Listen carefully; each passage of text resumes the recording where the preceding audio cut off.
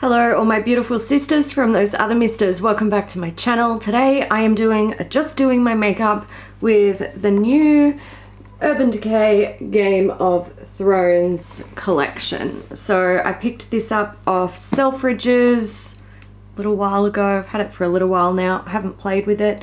Um, well, mm, it's a little bit of a lie. I haven't played with this one. I played with cats because we did a get swatched video on beauty news. So if you want to see that, you haven't seen it, it's going to be linked down below and I'll try to remember to put a card.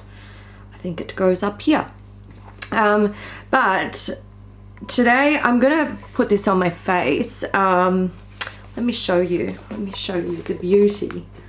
It is pretty cool. It's a pretty fucking sick little set. Um, it was never my intention to purchase the Vault. Uh, but when I saw it on Selfridges and I saw the price, I was like, that is going to be so much cheaper than what I can get these for in Australia when it launches at Mecca. Um, and Mecca weren't getting the Vault. So the Vault was never going to be an option if I chose to shop uh, through Mecca. There were certain things that I really wanted, like the makeup brushes. I was like, these are the, the main things that I want from the collection. I knew they were going to be super expensive. Um, so I was like, well, I'm not, I'm not missing out on them. Um, and I knew I wanted the Sansa lipstick and the eyeshadow palette. I was pretty confident that Mecca would get them. Um, so that wasn't an issue. The things that I didn't want were like the metallic lipsticks and the lip and cheek tint. Like, it's such a no product. I was a bit, I didn't know how I felt about the highlighting palette. So I was kind of like, I don't want it because the contents don't interest me at all, but the packaging does. So yeah, that's a thing. But I'll go through it more as I'm using it. Um, I'm going to start with the eyeshadow palette. So this is the palette. Um, I'm sure you guys have you guys have seen this everywhere, but I'm going to go through it anyway. Um, hello, us. Hi. Um, so mirror, which, look, the mirror is useless because what the fuck is this? Like, look at how it sits. So if you have it sitting on a desk, what are you going to do? Hold the mirror up? Like, I don't even know why they bothered with that if they were going to have a mirror in there, they should have done what they did with the vault and put the, the ribbons to support the lid. See what's going on here with these ribbons? They prevent the lid from flopping back. They should have done it with the palette. Anyway, um, there is a throne. Oh, look at that. 3D throne. Um, look, my thoughts on the throne is okay, yeah, kind of cool. Um, and I do understand why they did it because they do these sort of pop-up palettes with, um, you know, TV and movie properties often. Well, not often, but when they do them, they often do a pop-up. So I get why they did it. Um, do I think it's necessary? No. Is it kind of cool? Yeah. Um, but again, like there we go. Um, if you're gonna have this like as a display piece, you're gonna sit it like this and the mirror is just gonna be like flopping wherever. Um, and then you're gonna have the throne up and it sits kind of weird. Like, uh, I don't know. Like, yeah, okay, but execution, maybe not so okay. Um, the palette slides out like so from the bottom so, you know, you're not going to be traveling with this because it's a, it's a big boy. Um, and here it is. My, okay, this is, this is great because when I see this in my, like, my little screen, I'm like, Bleh. that is bland and boring, do not need. And there's really not a lot that I see in my viewfinder that interests me. And that was my vibe with this palette when I saw like the promotional images of it. I was like, oh man, like there's really, there, there, it's wearable, but there's not a lot going on in there that is even remotely interesting. But when I turn it around and I look at it, it just looks it looks better. And I just, I don't know why. And I feel like some of you might be able to re relate to this if you have managed to see this in store. Um, it looks better in person than it does in photos or film. That's that's my vibe with this palette. So it's a 20 pan palette and they're like, you know, grouped off in little houses. You've got uh, Targaryen, oh, well, maybe, I think, okay, if we get up nice and close, let's have a look. I think like these shades on this side, the individual round ones, I think that like represents what the colour family is meant to be about. So you've got Bay of Dragons, King's Landing, Winterfell, and Hardhome. But I'm just like White Walkers, Winterfell, um, House Lannister, and Targaryen. I don't know. That's my vibe. Nice and close for some eye makeup application. Um, mm, I don't know if I need to get my eyes checked or if my lens is not focusing properly. I think it's my lens. Not good. I dropped this camera the other day. It fell over. There are only three mattes in this 20 pan palette. Um, I think that's a major flaw with it. It's, it's kind of frustrating. You've got like a sort of pinky nudish shade that's a little bit, I don't know, pinkish nude's probably not the right word for it. It's kind of like a pinky coral light pinky coral shade. Then you've got a generic mid-toned brown um, and Lannister red, which is, if I remember correctly, I'm gonna have to swatch it. I think it looked a lot more brown. Yeah, it's, it's pretty brown. I'm gonna take House Lannister in my crease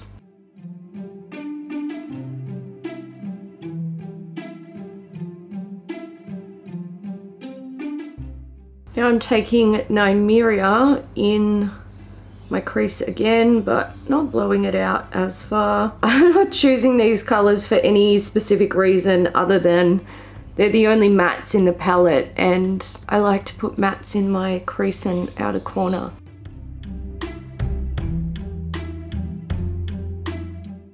Okay, last matte. This is Lannister Red.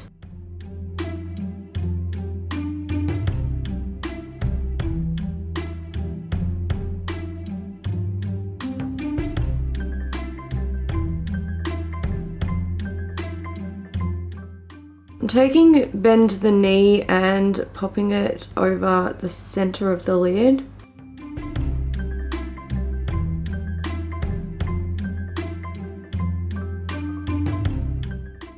And this shade is Hard Home, which I'm popping on the inner corner. It doesn't pick up very well with the brush. One has a bit of a flaky formula. Kind of um, difficult to get it to just like stick onto the eye. Just gonna go back in with bend the knee and um, touch that up a little bit. I feel like the Hard Home shade looks so much prettier swatched, but then on camera it looks pretty fucking bland. Um, by the way, it's this one right here. Bit bland, so I'm gonna go over it with Bay of Dragons. And this is another one, like the formula is similar to Hard Home and that's with me like gently scraping back and forth in the pan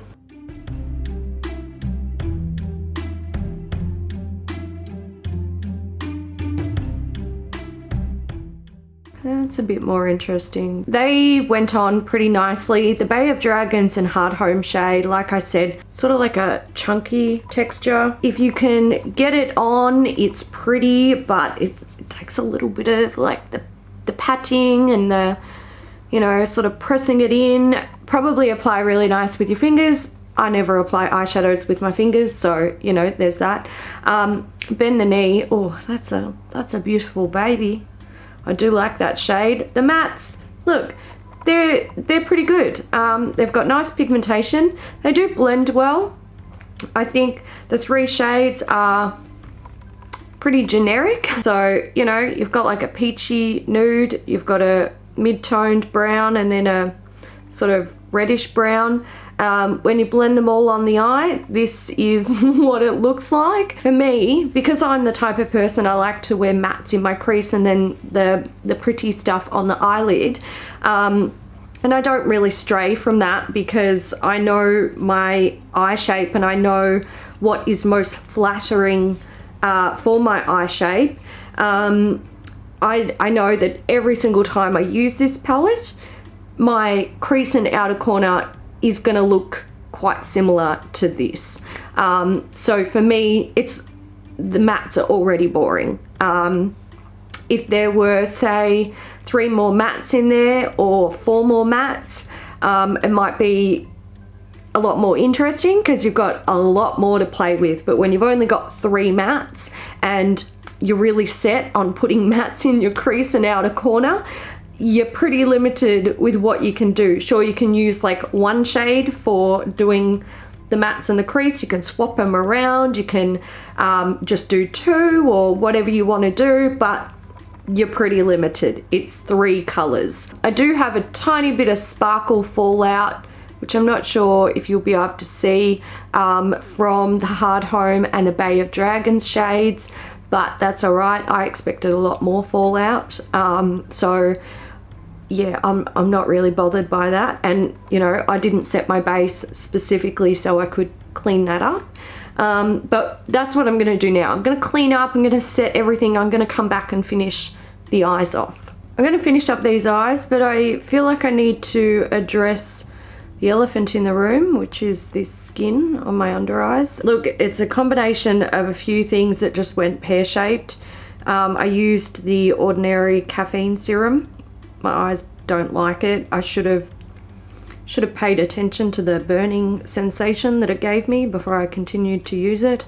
Um, also, I'm too smart for my own good and I didn't use um, eye shields to, or like eye, you know, little under eye masks to protect myself from the new Drunk Elephant retinol that I'm using. Um, I finished up my Glyco one, so I moved on to that since I had it in my stash. So um, my skin is one, very sore and irritated from the, um, the ordinary serum. Two peeling because I clearly managed to get retinol under there. At least I'm assuming it's a retinol. I think it is because I've got some um, retinol ugly patches on some other areas of my face. And three I tried a new sponge today and I really shouldn't have done that um looks great doesn't it I uh, decided to play with the Juno sponge because um, someone asked me what I thought of this compared to the Super Sponge and I hadn't tried this yet.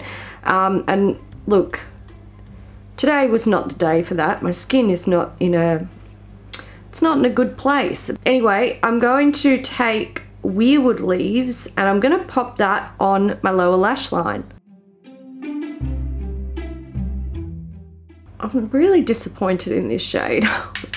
the formula is nice, but it's just not the color of Weirwood leaves. Like, it's not. I'm to take the shade White Walker and I'm to put that in my inner corner.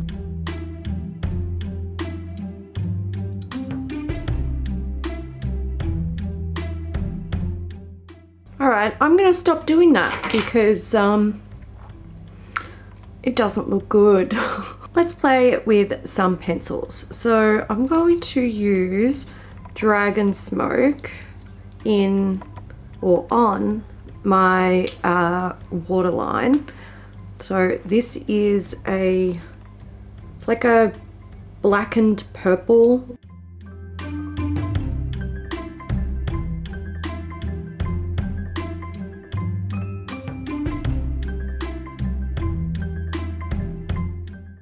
Now I'm going to take Winterfell Snow, which is this sort of, it's like a translucent shade with a blue, silver, sort of shifty prettiness. I probably should have put this on before I put on the eyeshadow, but I'm just going to dot it in this inner corner. I gotta zoom away from these eyes because seeing them up close is actually starting to really upset me. Mother of Dragons highlighting palette. Um, so this is a three pan palette. It's actually really small. Like it's tiny. Like these little pans are small in comparison to other um, Game of Thrones highlighting, um, sorry, Urban Decay highlighting palettes. Um, so it's basically a Neapolitan ice cream highlighting palette. Some of you will know how I feel about that. Um, I personally don't like it. I think it's it's so generic. It's so generic. The colors do not relate to the dragons at all, really. Um, it's just, yeah, I just feel like this is mm, this is a really poor attempt at creating something that could have been absolutely sick. Um, so I'm going to use Viserion because Rhaegal will be too dark and Drogon looks like, to be perfectly honest, Drogon looks like a, like, a pink eyeshadow. Wow, it, uh, it picks up a lot on the brush.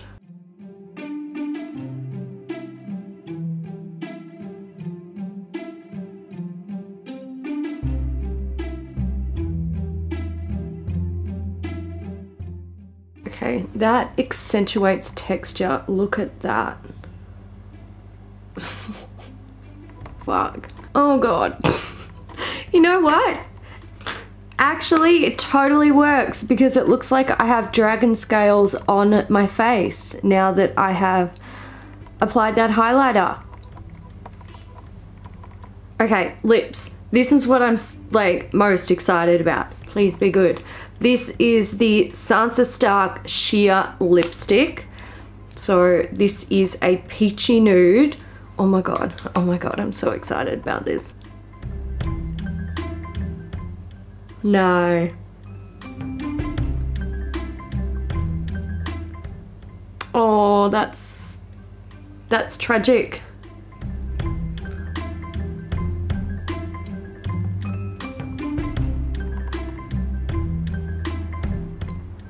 What a shame. It's really sad because it catches on dry parts of the lips. Now, I actually had a lip balm on the whole time I've been filming this video, which has taken me a long time. Yeah, it clings and... Oh, it looks really gross. I, yeah. Yuck. Please get off. I'm going to use a lip scrub to see if I can get that skin off my lips and we'll try again.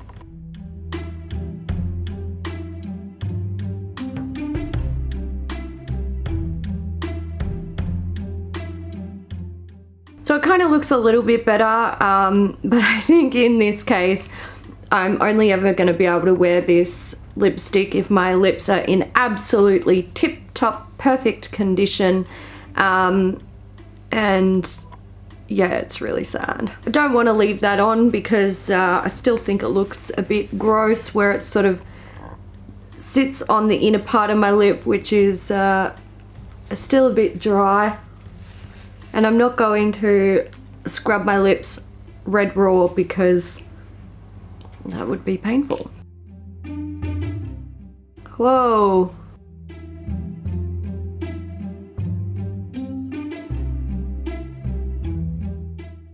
Okay, that's really pretty. Um, I feel like, again, it's like, it clings.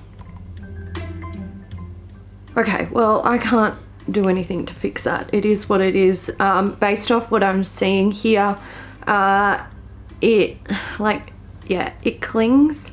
Um, it's a beautiful, soft formula. Like, it's a comfort mat. so they're meant to have a more matte finish and be comfortable to wear, and they are very comfortable. It's very light, goes on quite um, smoothly and fairly opaque. Probably not a formula I would reach for unless my lips were in really good condition because that like gathering and bunching around dry parts of my lips, I think I think that is I, that is a major sin. It is really, really hideous, but the color is beautiful and it's one that I would wear, especially now that we're coming into winter. Some of you will know I love these really dark, like blood, blackened red shades. Stunning. I'm going to share my final thoughts on uh, the products in this collection and I'm going to be completely frank about my feelings. So if you are someone who really loves this collection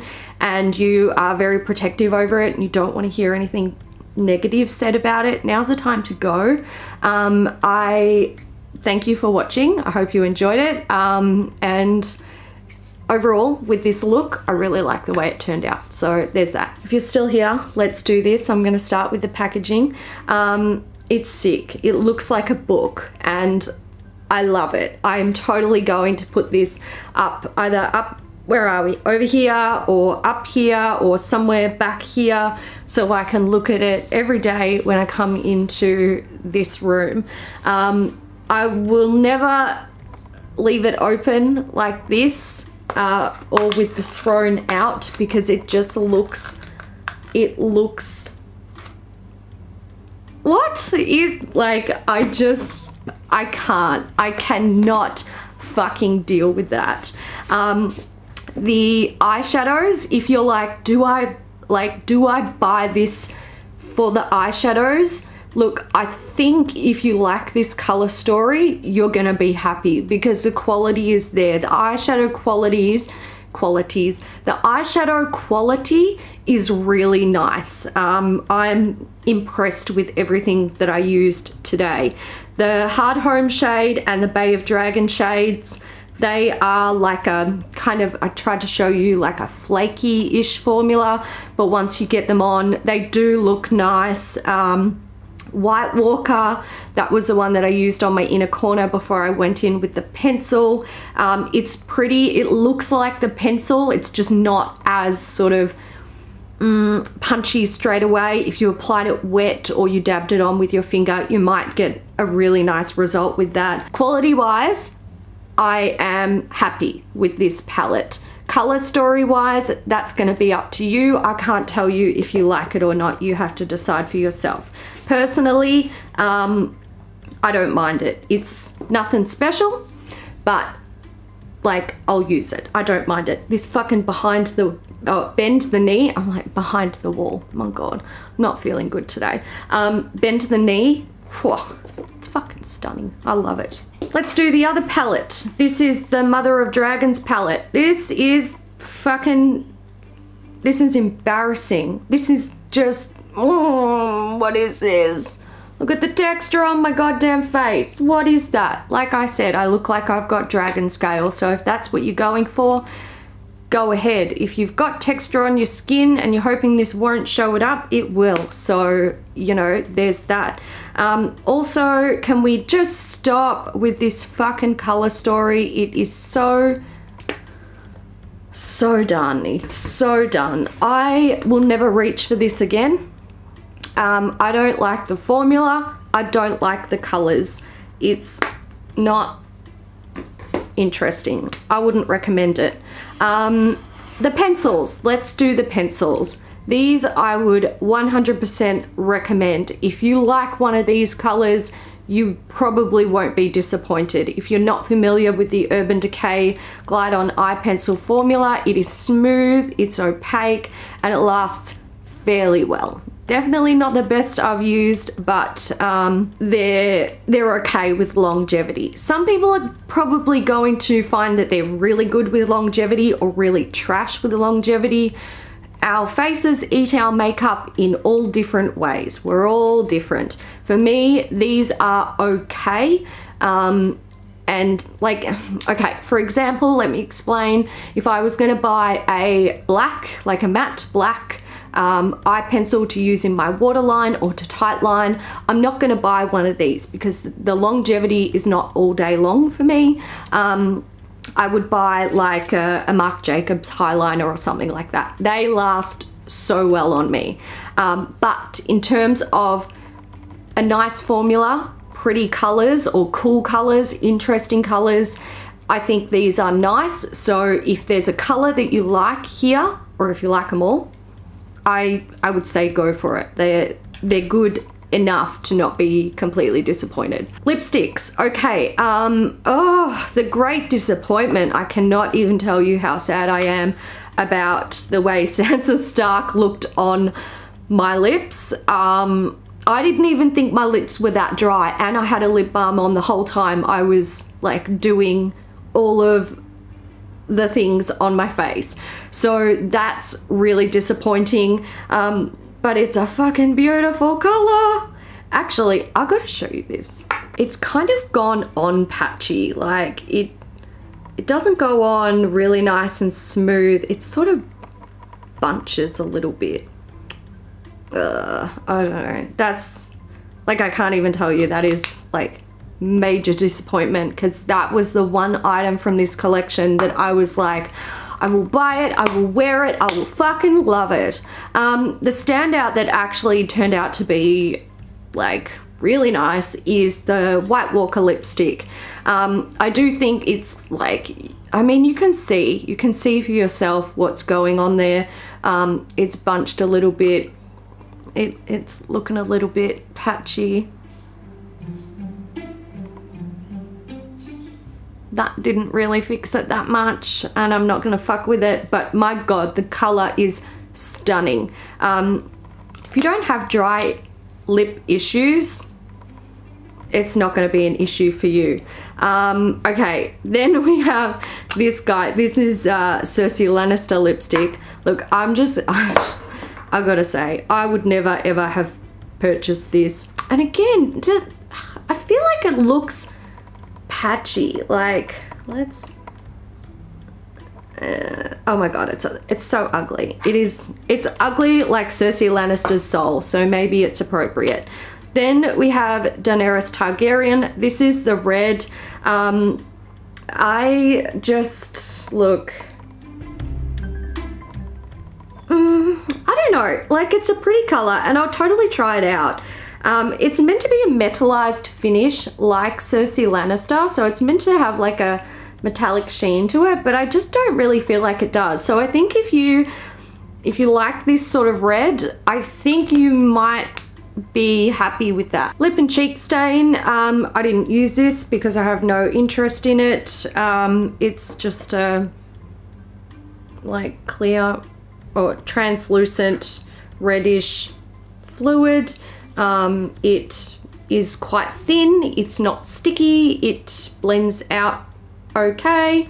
Um, you can kind of, mm, just, the product just doesn't interest me. I can't even pretend to be like, oh, I'll try it out one day. I won't. I know I won't. Um, I'm not interested in it. I would have been so much happier if it wasn't in the collection but it is, so there it is. I own it. I will never get rid of it because it's Game of Thrones themed, but I will always have a little bit of disdain for it. And then we have the brushes. Um, very sorry if you, like I am genuinely sorry if you um, wanted to see me use these. I know that I, in the past, I've talked a lot about like makeup brushes and what's good and where you should spend your money and stuff like that. And I know some of you really love those videos from me and you respect what I have to say about brushes. Um, but I just can't bring myself to use these. I'm really sorry. Um, and I'm going to be very blunt about why I didn't use them. One, if I look at, ugh, Great, now I'm stuck with that for the rest of the day. Um, I'm gonna see if I can get it off. This is why I don't like makeup that stains, because now I'm stuck with this until I scrub my skin raw to get it off. Um, okay, back to the brushes. Now, okay, I would have bought these brushes individually if I hadn't purchased the Vault, and I would never have used them. I would have purchased them for collector's pieces only. Um, and the reason being is that I really like the like the design of these, the little swords. So you've got Jon Snow's Longclaw. Um, the brush has like the direwolf's um, eyes has little diamantes. It's fucking cute. I love the attention to detail. Um, is it a direwolf or is it just a wolf? I don't know, whatever. And then we've got Arya's needle, which is look, it doesn't look much like a needle. It would have been cooler if it was. It would have been so much cooler if they had just made these little miniature metal um, swords rather than brushes, in my opinion. Um, anyway, I would have kept these as collector's pieces. I would never have used them because here we go, guys. I do not like the quality of Urban Decay eyeshadow brushes. Uh, to me, they are like really stiff and it's just not a pleasant user experience. I have some absolutely gorgeous eyeshadow brushes in my collection. Um, some from like Hakuhodo that are 10 times better quality than these guys um, and on the same like price wavelength. Um, so I won't use these. I'll never use them because they're just not I don't think they're good quality brushes. Every single brush that I have got in an Urban Decay palette, I don't use them because I don't like them. I just don't think they're good. Um, also, major, major issue with these, the hilts. The hilts are like in the way and they're, it's just, it doesn't feel right when you're holding it. Um, they poke you. It they don't like hurt you or anything, but they they poke you and they feel strange and it's hard to like hold the brush comfortably and mm, I don't get it. I'm sure if you use them regularly you would get used to it, but I don't have any desire to do that. I bought this makeup to and these brushes to enjoy them in the way that I want to enjoy them and that is being little like display pieces. These are my display piece brushes that will sit with the palette somewhere over there and every time I look at them I'll be like look at how fucking cute those makeup brushes are but functionality it's not there for me and I knew that when I was going in to buy them. To be perfectly fair, if this was not a Game of Thrones themed collection, I would not have purchased a single item from it. If this was just standard Urban Decay stuff, or, um, and I mean it is standard Urban Decay stuff because it's like their quality products. Um, but if it wasn't themed around Game of Thrones, I wouldn't, I wouldn't touch a single thing. Like there's nothing here that inspires me enough to actually want to like you know, oh my god, I've got to own that because it's stunning and I have nothing like it. Um, the only driving factor in purchasing this collection for me was the fact that it's Game of Thrones themed. Um, and uh, I'll be totally like I'll be totally straight up with the lipsticks like if these didn't have Game of Thrones packaging um, I'd be massively disappointed because there's nothing there that is so amazing that like I I have those colors. I have those colors and the colors that I don't have, I would never wear anyway. Um, and I will say, oh, you can see this is getting even patchier. Um, like I've got reds like this and I think the formula is better than the one that I'm currently wearing. Um, the, the eyelining pencils, okay, they're really pretty, but let's be dead real about this. How often am I going to use them? And the only saving grace is that they have Urban Decay Game of Thrones on them. And I can tell you, even if I do discover that one of these is like a hardcore favorite of mine and I use it a lot, um, by the time I get to like sharpening down to the Game of Thrones bit, I'm stop using it because that is I'm not gonna get rid of the Game of Thrones ever. Um, so that's kind of my, my vibe about this collection. There is the only love here for me is the fact that this is Game of Thrones themed. If you really want to buy something from this collection but you only want one or maybe two things, I would suggest the eyeshadow palette, unless you absolutely hate the color story, then don't go there. But if you kind of like it or you really like it, you'll be happy with the quality. Um, and any of the eye pencils, if you like those colors. Um, and I mean, if you like Urban Decay brushes, go ahead and buy those, um, those swords. But yeah, for me, it's like, okay, I'm glad I've got it because I wanted it for collector's reasons, but mm, none of it is the second coming of makeup Jesus. Give it a thumbs up if you enjoyed it. Also, if you purchased anything from this collection, let me know your feels. Let me know your true feels. It's okay if you absolutely adore something that you purchased, and it's okay if you hate something that you purchased, but you're gonna keep it anyway because collection. It's okay. I understand because I have those feels about this makeup as well and a lot of other makeup in my collection. Thanks so much for watching guys. I'll see you in the next one. Bye.